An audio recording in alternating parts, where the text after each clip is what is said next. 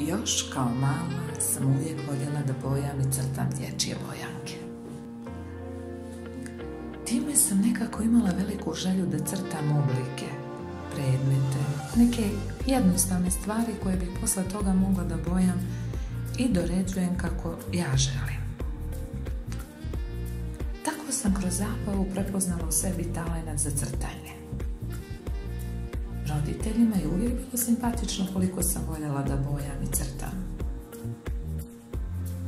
Kako sam rasla i kako se sve više budio taj talent u meni, uvijek sam voljela da se pohvalim roditeljima kad nacrtam nešto što mene samo oduševi i oni bi me uvijek pohvalili i davali mi samopouzdanja.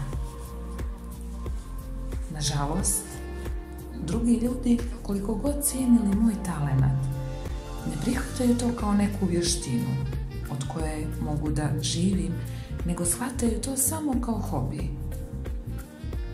I uvijek su mi govorili da trebam da se usresredim na školu i važnije stvari od crtanja. Ali ja sebe nikada nisam sputavala zbog ljudi oko sebe. I vjerujem da svako treba da se bori za ono što želi i u čemu se pronalazi u punom svjetlu. Kada crtam, odlutam u svoj zamišljeni svijet i često zaboravim na vrijeme, jer dok crtam, za mene ono ne postoji.